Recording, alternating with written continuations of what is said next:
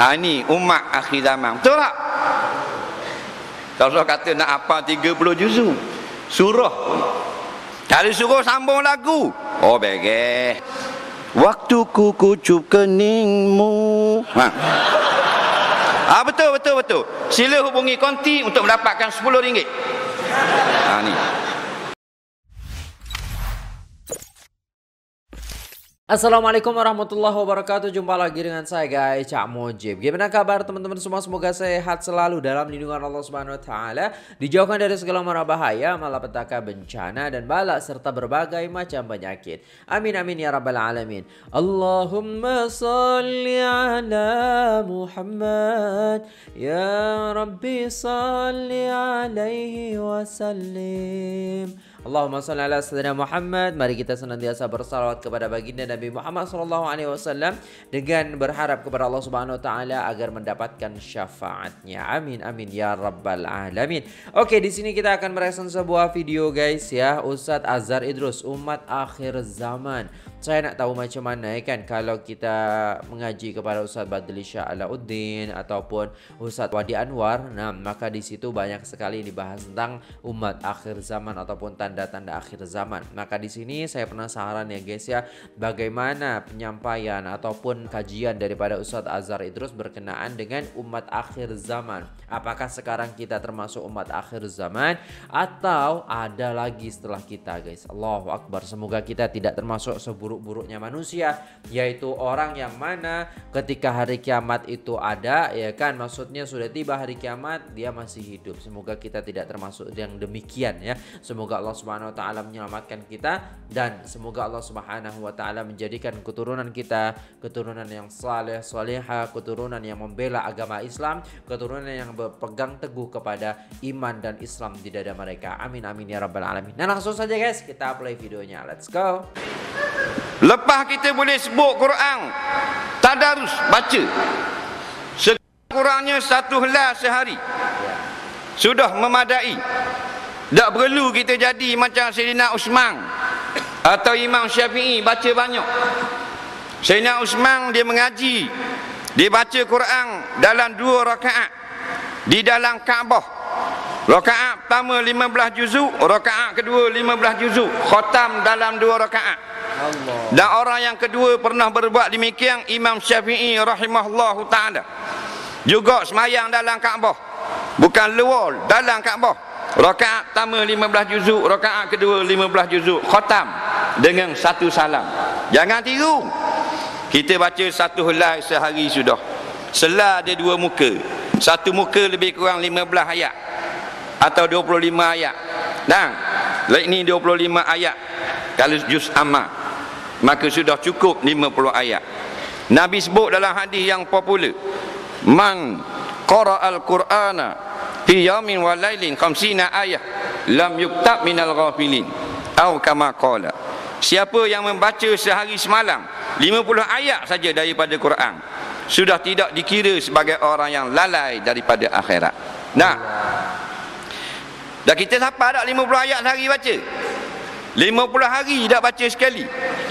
Sebab apa kita tak baca Quran? Sebab tak ada cerita dalam tu. Cerita-cerita yang berlaku hari ni. Nah, ha, tak ada hiburan. Dalam Quran tak ada tu keputusan euro. Tak ada. Batu surat khabar wajib baca. Tak baca denyuk kepala. Tak baca surat khabar dalih tidur. Allah. Miss beli surat khabar, pinjam dengan jiran. Telefon jiran minta surat khabar. Jiran dia kata saya ada sebelah je pasal anak ambil sebelah waksat saya. Tak apalah sebelah-sebelah tak apa. Nak baca juga.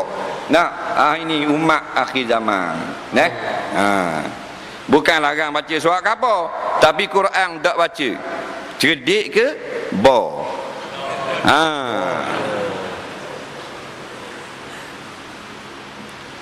Jadi ditanya dalam dalam kubur wa ma imamuka. Siapa imam kamu? Mayak yang bertuah menjawab Al-Quranu imami. Quran imamku. Dah kita jenis dah baca Quran Jenis baca surat apa nak jawab gitu? Dah. Sinah harian imamku. Ha.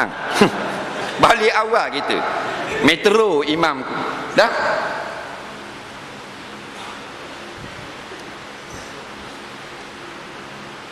Baca satu ayat Suruh orang Islam kabar surah benda ni macam surah ni dia bawa mikrofon faham jalan di bandar KL jalan di bandar Bangi jumpa budak-budak Assalamualaikum Waalaikumsalam ha, boleh saudara terangkan ni daripada surah mana Subhanallazi asra bi 'abdihi laila minal masjidil haram ilal masjidil aqsa. Surah mana? Ha garu kepala. Surah Kulhu ni. Tahu tak?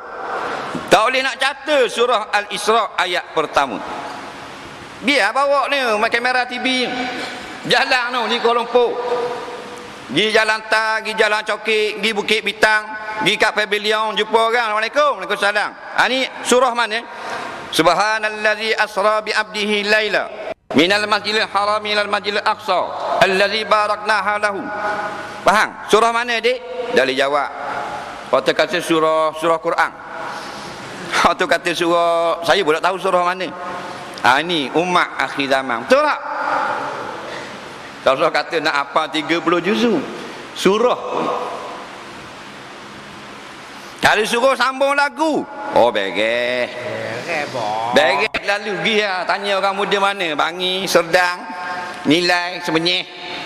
Nampak? Cyber Jaya, Metro Jaya. Boleh jawab Melaka cuba sambung sikit dek dalam konti DJ tanya nak, ha, ni siapa boleh sambung pukul 3 pagi dah dalam kereta pasang radio Ah ha, boleh sambung. Ah ha, siapa nak sambung? Sila hubungi kami segera. Halo, Assalamualaikum. Saya boleh sambung. Ah ha, cuba sambung sikit.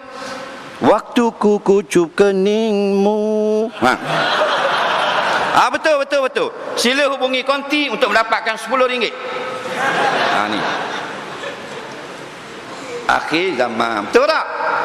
Pasal kita dimomokkan dengan yang lara terlalu banyak. Jadi buta Quran. Nak buta terus Quran. Buta Quran pun pakai viva. Ha. ha. belajar. Lepas kita pandai menyebut Quran baca. Lepas tu kita dalami lagi hukum-hukum Quran. Ada orang mengajar tafsir Quran pergi dengar. Beli kitab tafsir. Nak tengok. Baru kita tanda sayang pada Quran. Baru benar sabar kita tepek stiker belakang kereta. I love Quran. Nah. Oh Kristian tulis I love Bible. Ah dia mengaji Bible.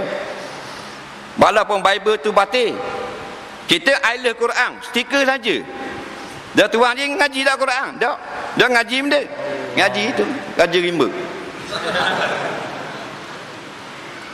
Dalami ambil nahu Quran surah Quran balaghah Quran cukup indah. Siapa yang mendalami ilmu Quran dengan tidak mendalami jauh sangat bezanya. Walaupun maknanya tidak berdosa dah orang awam yang boleh baca saja Quran tapi tak tahu makna walaupun dia tak berdosa dah tetapi dia tak dapat keindahan Al-Quran itu sendiri. Macam orang makan deriang dengan tengok gambar deriang Orang tengok gambar deriang memang tak lari dah. Bukan wah jambu dah. Dengan orang hak makan pun deriang juga. Hak mana sedap? Sedap hak makan. Jadi orang nak makan Quran. Isi dia meresak di dalam perut kita. Maka mengaji dan dalami ilmu Quran. Tak payah terjemahan. Tengok Quran saja ada dah ni. Kita baca Bismillahirrahmanirrahim. Alif Lam Mim. Zalikal kitabul la raiba fi. Hudal lil muttaqin satu ayat surah al-baqarah. Ada belakangnya dengan istiarahnya dengan dengan apa benda ma'aninya ada tasbihnya ada nahunya ada sarahnya ada mantuknya ada mafhum. Cukup-cukup sedap. Tahu tak? Dah kalau orang awam tak pandai tuknya tak nyang kita ayah kita ke mana kira? Jawabnya tak berdosa dah. Tapi mereka tak dapat mengecapi kelezatan Al-Quran itu sendiri. Deh? Ha macam orang puang ha. awet minah minah minah minah ni gambar saja dengan tuang betul ada di depan mata. Sama tak? Sama lah. Ni pun minah depan mata pun minah orang awam yang tak pandai hukum dan haraf-haraf dan huruf-huruf Quran dia hanyalah orang yang menengok gambar minah saja. Orang yang pandai ilmu Quran minah duduk depan mata faham tak bila duduk depan mata boleh tengok depan belakang dagu hidung pusing nampak kaki atas punggung nampak habis tak oh beh nu tengok gambar saja. Minah juga. Orang awam pusing kedai gambar Tokyo. Faham lagi? Faham, faham. Apa tu? Allahumma salli ala sayyidina Muhammad. Oke guys, sudah selesai videonya. Itulah tadi ya Ustaz Azhar Idrus umat akhir zaman. La ilaha illallah Muhammad Rasulullah sallallahu alaihi wasallam ya. Ini disampaikan oleh Ustaz Azhar Idrus sangat-sangatlah simpel sekali ya. Tanda-tanda ataupun ciri-ciri umat akhir zaman lebih cinta kepada Quran daripada Quran. Ya, kata Ustadz Azhar Idrus tadi menasihati kita bacalah Al-Quran walau hanya istilahnya satu lembar saja ataupun 50 ayat ya. Jadi orang-orang yang membaca di dalam sehari ya 50 ayat maka dia termasuk orang-orang yang mempersiapkan akhirat Allah Allahu Akbar. La ilaha illallah Allahu Akbar Allahu Akbar Walillahilham Semoga kita guys ya termasuk saya juga teman-teman sekalian Mari kita mengaji Baca Al-Quran Baca Al-Quran. Jangan sampai Al-Quran ditinggalkan ya. Uh, otomatis kalau kita istilahnya hafal Al-Quran maka dengan mudah kita membacanya tapi kalau kita tidak menghafal Al-Quran maka setidaknya kita membaca dan membaca dan terus membaca. Buat teman-teman yang belum bisa membaca Al-Quran, belajar dan belajar, jangan hanya mengejar dunia saja, jangan hanya pintar untuk matematika, jangan hanya pintar untuk fisika ataupun ilmu-ilmu teknologi lainnya, tapi tidak pandai membaca Al-Quran. Utamakan dan usahakan kita pandai membaca Al-Quran dan bacalah Al-Quran walau hanya satu bait saja dalam sehari. Kalau kita memang betul-betul susah. Ada sebuah nasihat daripada seorang ulama di Indonesia itu bacalah Al-Qur'an sebelum kita istilahnya bekerja itu 15 menit. Ya 15 menit itu bisa dikatakan ya dua lembar ataupun tiga lembar ya. Tapi kalau kita cepat 15 menit itu bisa sampai dalam satu jus ataupun setengah jus seperti itu teman-teman. Oke itu saja video kali ini guys. Terima kasih sudah tengok video ini sampai selesai. Terima kasih. Jazakumullah khairan saat azhar idus Semoga Allah subhanahu wa ta'ala memberikan kebahagiaan Memberikan keselamatan selantiasa Kepada Ustaz Azhar Idrus dan juga jemaah semuanya ya. Teman-teman sekalian juga semoga senantiasa dalam lindungan Allah Subhanahu wa taala ya bahagia dunia akhirat ya punya kegemaran untuk istilahnya berbuat kebaikan. Seperti itu ya kan?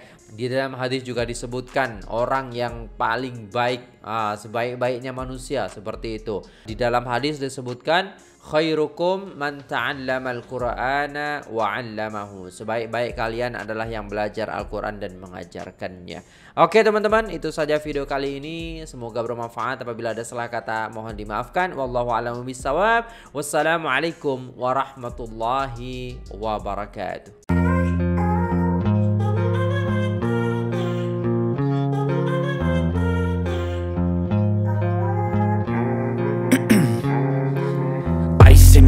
I've been driving this train. Years in this lane There's no stopping this flame. Cause I came to the game And I changed it to play. How I like rearrange